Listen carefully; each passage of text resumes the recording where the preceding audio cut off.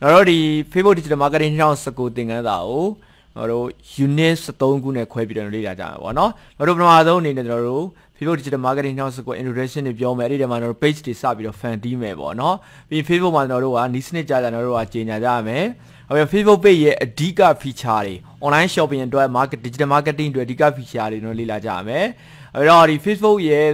ကြော်ညာတွေကိုအများနဲ့မလို့ထိထိရောက်အောင်မြင်ဖို့အတွက် line နာမယ်စီမီစီကန်9ချက်ကိုတော့လေ့လာကြမယ်။အဲ့တော့ target audience ရွေးချယ်တယ်ဆိုတော့ digital marketing မှာအရင်ရေးကြည့်ပါတယ်။အဲ့တော့ Facebook audience အကြောင်းဒီခန်းမှာတော့လေ့လာကြပါမယ်။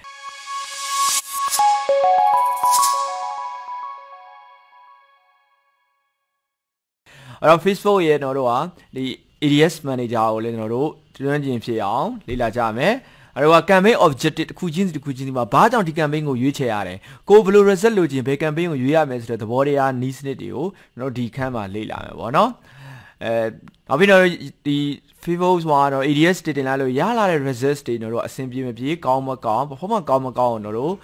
ဒီ monitoring နဲ့ analytics တွေလုပ်ဖို့ Facebook analytics နဲ့ sharing ကိုတော့လေ့လာကြမယ်ပြီးတော့ Facebook ရဲ့ marketing plan တွေကိုဘယ်လိုဆွဲမလဲဆိုတော့လေ့လာကြမယ်အဲ့တော့ Facebook ရဲ့ marketing strategy တွေပေါ့နော် marketing strategy တွေနောက် Facebook ရဲ့နောက်ွယ်ကလုပ်နေတဲ့ behind the scene formula တွေကိုကျွန်တော်တို့ကဒီမှာလေ့လာကြမယ်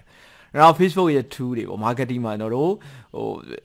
ဒီ post တွေကိုအလွယ်တကူ fan တီးဖို့အတွက် error ကင်းကင်း fan တီးဖို့အတွက်အသုံးပြုရမယ့် Facebook tool လေးတွေကိုဒီမှာပြောထားတယ် အဲ့တော့ Facebook ADS တွေကျွန်တော်တို့ test တွေပေါ့နော်မှာ connect calendar အကြောင်းတွေတို့အဲ့လိုအမျိုးတွေဒီခန်းမှာပြောထားတယ်နောက်တစ်ခုကကျွန်တော်တို့အဲ Facebook ADS account တွေကိုအများကြီးပေါင်းပြီးတော့တနေရာတဲ့နဲ့ထိချဖို့အတွက်ကျွန်တော်တို့ Facebook ရဲ့အဆင့်မြင့်ဆုံး tool တစ်ခုဖြစ်တဲ့ Business Manager အကြောင်းကျွန်တော်ရှင်းပြထားတယ်။ Okay နော်အဲ့ဒါဆိုကျွန်တော်တို့သင်ခန်းစာတွေကိုတစ်ခုပြီးတစ်ခုလေ့လာပြီးတော့အဲလုပ်ငန်းခွင်မှာပြန်လည်သုံးချနိုင်ပါစေလို့ကျွန်တော်ဆုမွန်ကောင်းတောင်းပါတယ်။ Okay thank you